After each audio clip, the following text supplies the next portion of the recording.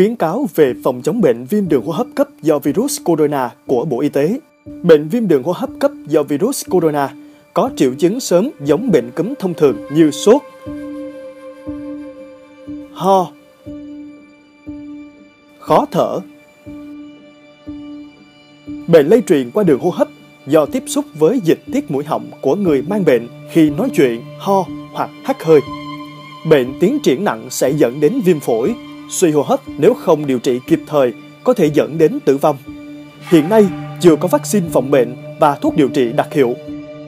Để chủ động phòng chống bệnh viêm đường hô hấp cấp do virus corona, Bộ Y tế khuyến cáo người dân thực hiện tốt các biện pháp sau.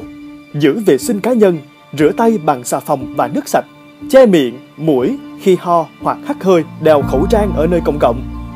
Tập thể dục, ăn chín uống sôi và đủ chất để tăng cường sức khỏe. Thường xuyên lau chùi sàn nhà, tay nắm cửa, vệ sinh các đồ vật bằng chất tẩy rửa. Tăng cường lưu thông không khí trong phòng. Tránh tiếp xúc với người bệnh hoặc người có biểu hiện cúm, người có các triệu chứng nghi ngờ mắc bệnh không nên đi du lịch đến nơi đông người. Cần đến ngay cơ sở y tế khi có các biểu hiện sốt, ho, khó thở. Thông tin đường dây nóng phòng chống dịch bệnh viêm đường hô hấp cấp do virus corona tại thành phố Đà Nẵng